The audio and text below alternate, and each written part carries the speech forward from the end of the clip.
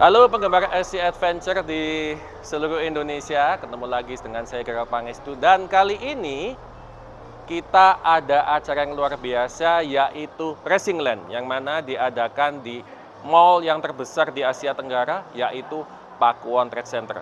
Dan acara ini diadakan dari tanggal 6 hingga 10 September 2023 di mana berlokasinya tepat di atrium G dan LG dari Pakuwon Trade Center Surabaya. Nah, kebetulan kali ini saya lagi berada di Atrium G yang di mana lokasi ini dikhususkan untuk RC Adventure. Nah, RC Adventure adalah seperti yang bisa kita lihat di belakang ini, ada berbagai macam jenisnya. Rata-rata mobilnya Jeep, yaitu yang mana digunakan untuk main di hutan belantara. Selain itu ada tipe seperti Land Rover, Defender, kemudian ada Rubicon, kemudian ada Willys, kemudian juga ada Ford, dan lain sebagainya. Dan untuk venue-nya bisa kita juga lihat di sini di Atrium J, di mana kita sulap atrium ini yang biasanya jalanannya halus ya, karena mall kan pasti identik dengan banyak keramik bagus dan licin. Nah kita sulap, kita bawa nuansa hutan ke dalam mall.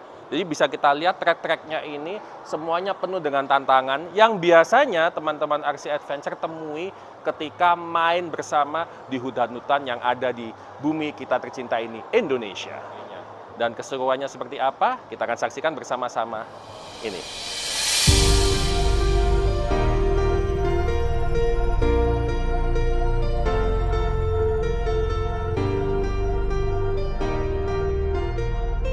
Baiklah, kali ini saya bersama dengan salah satu dari panitia, di mana saya akan mengikuti kompetisi untuk skala mini. Nah, aturannya seperti apa? Pasti penasaran kan? Langsung saja dengan Reza. Reza, oke. Okay.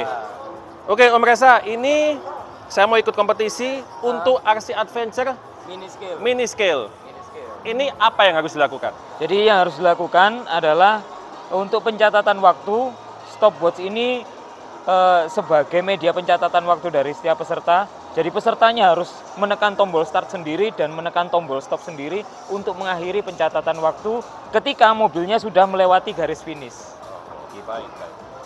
Oke, uh, hasil apa yang akan saya raih? Kita akan saksikan bersama.